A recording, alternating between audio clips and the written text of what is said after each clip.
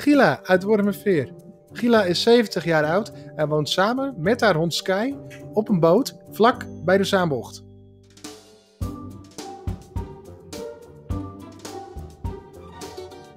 Gila heeft een relatie van 26 jaar achter de rug en helaas heeft ze deze relatie moeten beëindigen. Gila staat altijd wel open voor andere contacten. Dus ze zit daarom ook vaak op Facebook of op andere websites om gewoon nieuwe mensen te leren kennen. Wie weet, wij er een leuke vriend aan over en wie weet wel een relatie.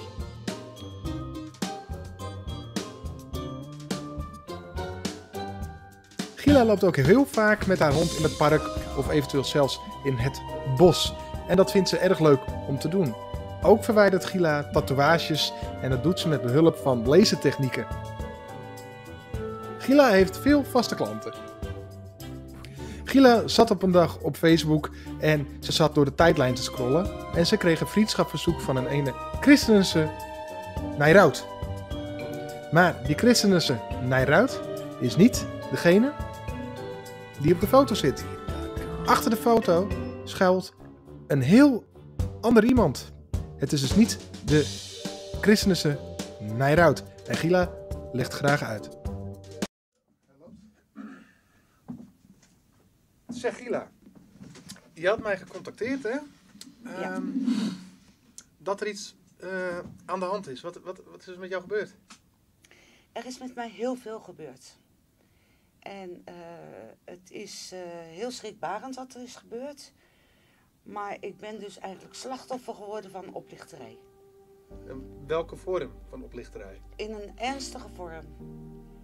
Ehm, het is begonnen, en dat wil ik heel duidelijk eh, kenbaar geven aan de mensen, met een vriendschapverzoek op Facebook.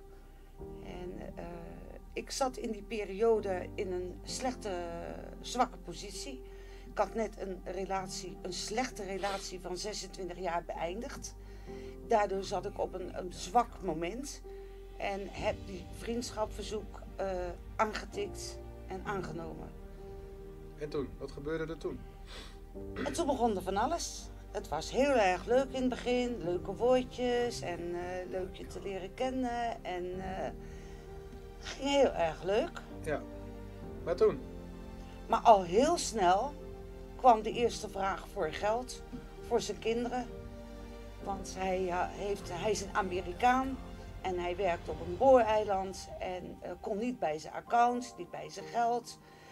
Of ik hem alsjeblieft wilde helpen, want de kinderen hadden geld nodig. Ja. En hoe heette die man? Die man heette Christensen Nijrout. Oké.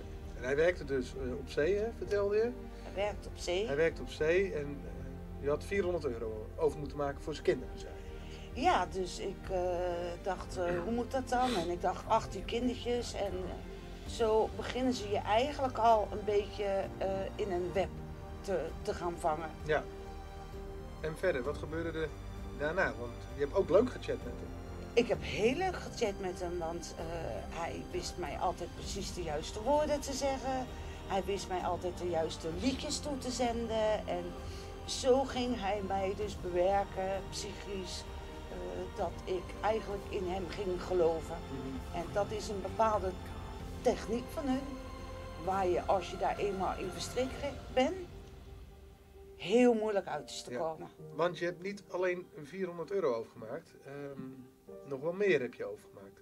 En dan gaan we niet in de, eh, de exacte cijfers treden, maar het gaat om duizenden euro's. Het gaat om duizenden Ja, euro's. om duizenden euro's. Ja, ja, ja. Met wat voor argumenten kwam die om het geld over te maken? Want het was eerst voor zijn kinderen en toen... Toen kwam het tweede argument dat zijn dochtertje had een ongeluk gehad.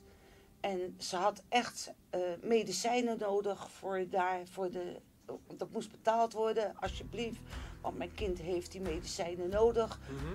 Dus hij wist het precies. Ik dacht, ach, dat kind heeft een ongeluk. En zo loop je dus weer verder. En daar ging het dus weer 1500 euro voor medicijnen.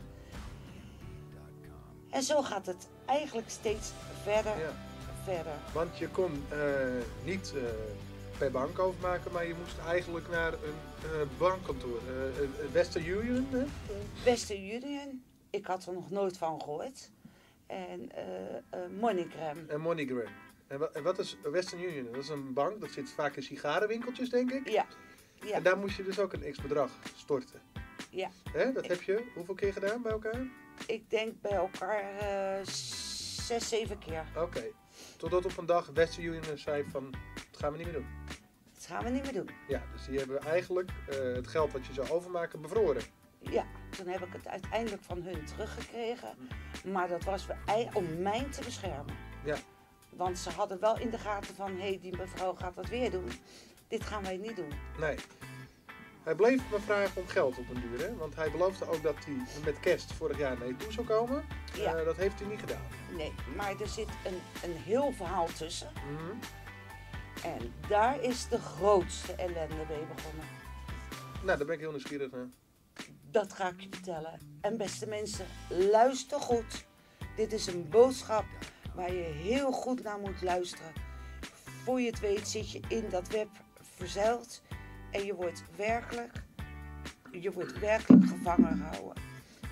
Ik ga het vertellen. Hij kwam op een dag met, eh, ik, heb een, eh, ik heb heel veel geld te goed van mijn bedrijf voor werkzaamheden wat ik heb verricht. Ja? En dat, daar ben ik twee jaar mee bezig. Heb daar een proces voor aangegaan. Ik heb het gewonnen. En ik krijg het geld nu. Uiteindelijk eh, kan ik het krijgen. Maar ik kan het niet naar mijn account in Amerika laten gaan. Omdat mijn account daar problemen heeft. Dus zou jij een account aan willen maken in Amerika. En dat daar het geld naartoe kan. En dan kun jij beschikken over dat geld. Ik wilde dat helemaal niet. En ik gaf hem te kennen, ik wil daar niks mee te maken hebben. Alsjeblieft, dit is geld waar ik heel hard voor gewerkt heb. Ja. En dat is ook voor onze toekomst. En bewerken. Bewerken. Wij hebben een telefoongesprek tussen Gila en Christensen opgenomen. En dat heb ik Gila vandaag laten horen. En wat mij opviel is dat hij twee woordjes Frans liet vallen, maar ook absoluut geen Amerikaans accent had.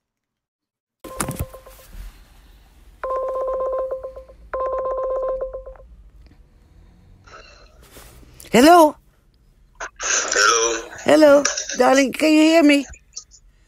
Yes, I can hear you. Okay, it's uh, everything. Uh, you you call me and I call you, and uh, nothing, nothing, nothing. But uh, now can I hear you? And uh, what do you want to say to me? The connection is very, very bad. Um, uh, listen to me, Jella. Yes, Listen, listen to me. Yes. You see, I I made a promise to you, and I, I told you that I I don't want us to have problems this year. I want this year to be a perfect year for us, a year of blessing to our relationship and to our upcoming marriage, because I am planning it in a big way. Now, listen to me. I don't want you to think that maybe I always ask you for money. I don't care about your money. I don't care how much you have how much you have you have with you. All I care is for our love and our relationship. yes. Okay.